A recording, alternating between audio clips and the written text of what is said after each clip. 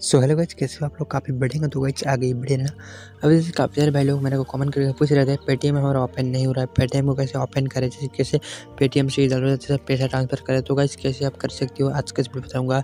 जैसे कि अभी आप कैसे कि पेटीएम में कुछ इरोर आ रहा है, जैसे इंटरनेट प्रॉब्लम हो रहा है। जैसे कि आपका वहाँ पर, जैसे कि पेटीएम ओपन नहीं हो पा रहा है। तो गाइज़ आप कैसे इस प्रॉब्लम को फिक्स आउट कर सकते हो? सॉल्व कर सकते हो? आज का तो मैं आपको बता दूँ कि पेटीएम में कुछ ग्लिच है जैसे कि ग्लिच जैसे हर रोज आता रहता है। कभी कभार सर्वर डाउन कभी कभार ये, वो कभी कभी या वो जैसे कि आपको के वैसे भी करना पड़ता है बार बार बीच में। तो गाइज़ आपको कुछ भी नहीं करना है, अपना फ़्लाइट मोड होता है उसको एक बार ऑन ऑफ़ कर देना सबसे पहले, वो सिंपल से ट्रिक है? उसके बाद आपको क्या करना है, जैसे कि पेटीएम का क्लियर डाटा क्लियर कैचेस कर देना।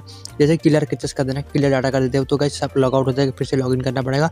जैसे आप इंस्टॉल करते हो, फिर से गाइज़ वहाँ पर जैसे लॉगिन किया था उसी तरह आपको फिर से न्यू प्रोसेस करना पड़ेगा, इसीलिए क्लियर कैचेस करना क्लियर डाटा नहीं करना है। उसके बाद आपको जैसे कि पेटीएम को, जैसे कि प्ले स्टोर में जाकर एक बार अपडेट कर देना। कुछ इतना करने के बाद, जैसे कि आपका पेटीएम ठीक हो गया, ठीक हो गया, नहीं तो गई आपको दो तीन घंटे आपको वेट करना होगा। उसके बाद ऑटोमेटिक पेटीएम से तरफ़ से यह प्रॉब्लम आता है तो गैज ऑटोमेटिक ये ठीक हो जाएगा।